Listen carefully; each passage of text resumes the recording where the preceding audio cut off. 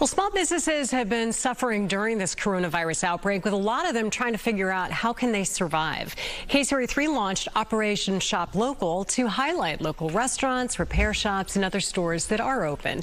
And other movements are popping up too to urge you to support those businesses.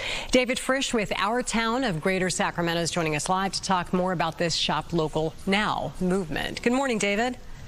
Good morning. You know, it's been really interesting to see how small business has had to do almost like an instant pivot and figuring out what they can versus what they can't do.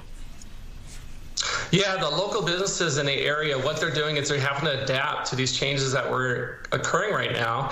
And what they're doing is, as you can imagine, is they've had to uh, take into account social distancing and other factors. But we did want to let them know that they are open and we need to support these local businesses. Yeah, I mean, that's what's going when we come out of this eventually. You, you are going to want to be able to go back to all these places, and that means figuring out ways to support them now. You know, one of the questions I get emailed from viewers all the time is I am a small business, I want to provide a service, but I'm not sure if I'm allowed to do that right now. What advice have you been giving to small businesses in terms of trying to figure out that pivot and provide services that they can make money from right now?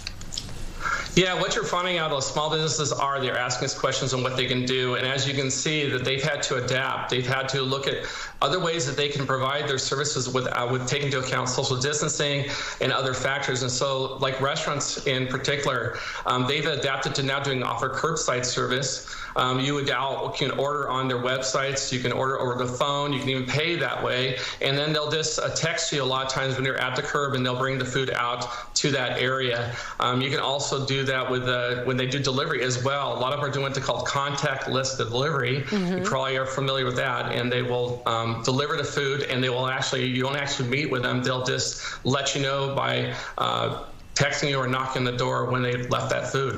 One thing that maybe the average person might not really think about is the fact that um, most of the franchises that we drive by in, in these times are actually owned by local people, and they're severely impacted by this as well. Yes, the local uh, franchisees and local businesses, as you can imagine, uh, these auto repair shops, um, you'll you'll see, or even local uh, restaurants, um, they're local. They're even though they might have a, a, a, franchise, they are local and they're here to serve you the public, and they, those dollars go back into the community.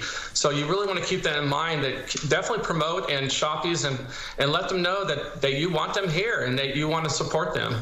All right, David, thank you so much. We appreciate you joining us and for all the assistance you guys are giving to these small businesses. People just have to get very creative right now, and a lot of them are figuring it out.